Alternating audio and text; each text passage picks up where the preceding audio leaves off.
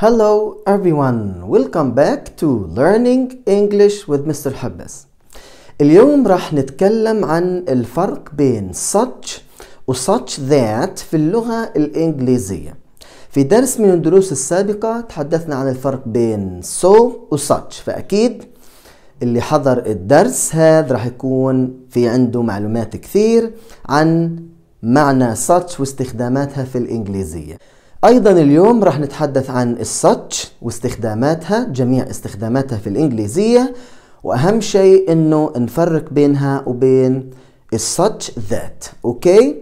Very nice. إذا what is the difference between such and such that خلينا نشوف من خلال درس اليوم. ما بدي أطول عليكم ويلا مع بعض let's get started.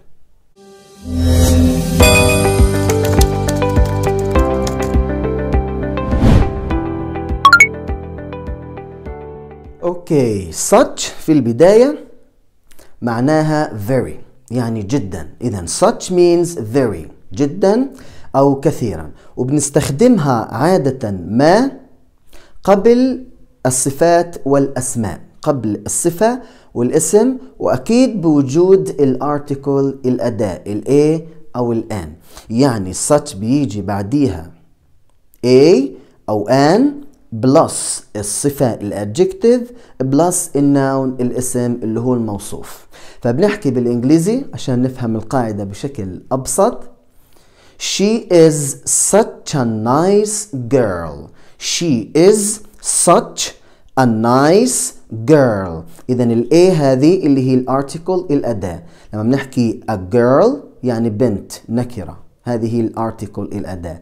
فبنحكي she is such a nice girl. إذا article وصفة واسم.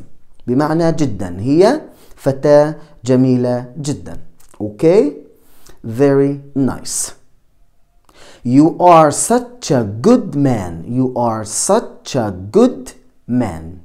هذا بالنسبة للاستخدام الأول لكلمة such. أوكي رقم اثنين كلمة such بنستخدمها أيضا قبل الأسماء قبل الأسماء ولكن بمعنى يا له أو يا لها. يا له من غبي يا لها من غبية يا لكم من أغبياء إلى آخره. فبنحكي بالإنجليزي You are such a fool. يعني يا لك من أحمق.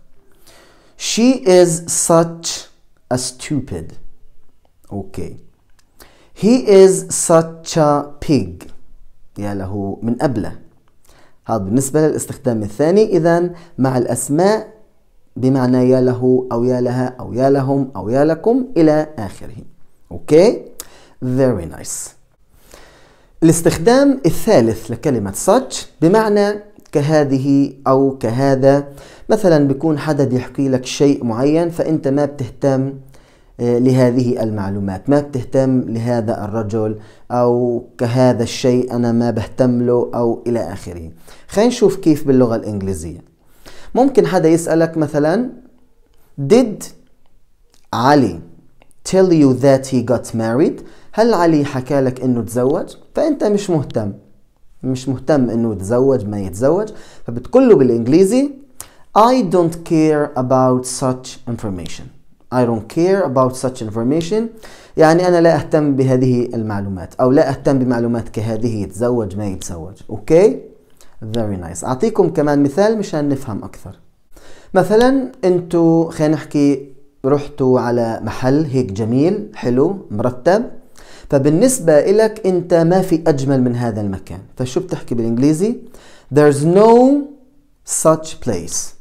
There's no such place. يعني لا يوجد مكان كهذا. لا يوجد مكان كهذا. ما في أحلى من هذا المكان مثلا. There's no such place. Okay? Very nice. ممكن حدا يحكي لك معلومات عن رجل معين؟ أول مرة أنت بتسمعها مثلا أو معلومات هيك مثلا تدل على مثلا أن الرجل مميز قوي شجاع أو العكس طبعا. فممكن أنت تحكي بالإنجليزي I have never heard of such man. I have never heard of such man. يعني عمري ما سمعت برجل كهذا الرجل for example. Okay? Very nice. الآن بنيجي على such that. Such that. وكيف بنستخدمها بالإنجليزي؟ اولا لازم نعرف إنه such that ما بنستخدمها إلا مع جملتين للربط بين جملتين في اللغة الإنجليزية ما بستخدمها لوحدها such that. وطبعا such that بنستخدمها بمعنى لدرجة أن أنه حدث كذا أو أنها أوكي؟ لدرجة أن لدرجة أن لدرجة أن ست أحكي مصري. لدرجة أن أوكي نأخذ مثال أو مثالين جملتين. نربط بينهم باستخدام such that ونشوف كيف المعنى بصير ونشوف قاعدة الاستخدام. نحكي الجملة الأولى. She was an unworkable girl. يعني هي كانت بنت غير مجتهدة. طيب. الجملة الثانية. She failed all the tests. يعني رسبت في جميع الامتحانات. إذا هي كانت بنت غير مجتهدة. رسبت في جميع الامتحانات بدنا نربط بين هاتين الجملتين باستخدام such that لدرجة أن فبتصير فبتصير she was such an unworkable girl that she failed all the tests she was such an unworkable girl that she failed all the tests أوكي يعني هي كانت بنت غير مجتهدة لدرجة أنها رسبت في جميع الامتحانات. إذا قاعدة الاستخدام مثل ما حكينا بالأول إنه الساتش بيجي بعديها الصفة والاسم بوجود ال article a أو an plus ال adjective الصفة ثم ال noun الاسم اللي هو الموصوف. أوكي؟ بعدها بندخل ال that ثم الجملة الأخرى.